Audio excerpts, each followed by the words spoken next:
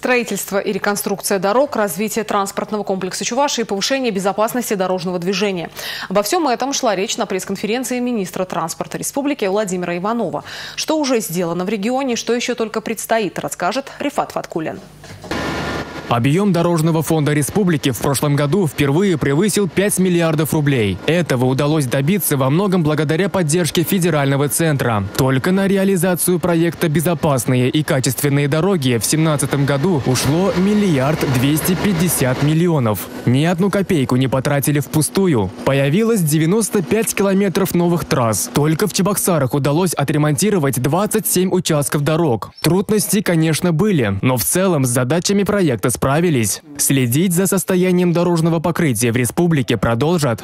По проекту «Безопасные качественные дороги» в этом году э, проинвестируем миллиард четыреста э, шестьдесят один Э, миллион рублей э, и будет отремонтировано 143 километра дорог.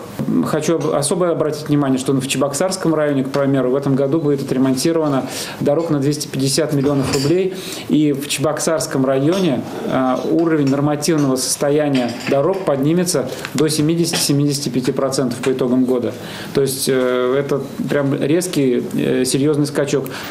В планах Минтрансы и масштабный ремонт Порецкого моста через Суру. Сооружение построено больше 40 лет назад, и капитального ремонта здесь не было ни разу.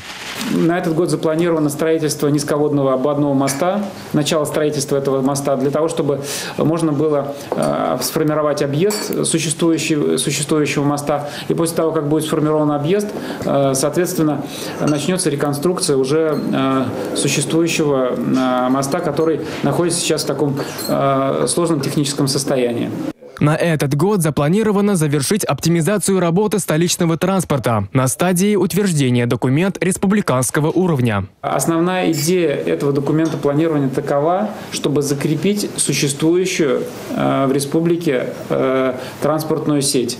Никакой революции мы не планируем, э, так как в целом сформирована э, системная работа по э, доставке пассажиров практически из любого населенного пункта, а у нас с вами транспортной доступностью обеспечивается 1700 населенных пунктов Чувашской республики. Изменения коснутся внегородских маршрутов, которые заезжают в Чебоксары. Их конечными пунктами должны стать только пригородные автовокзалы.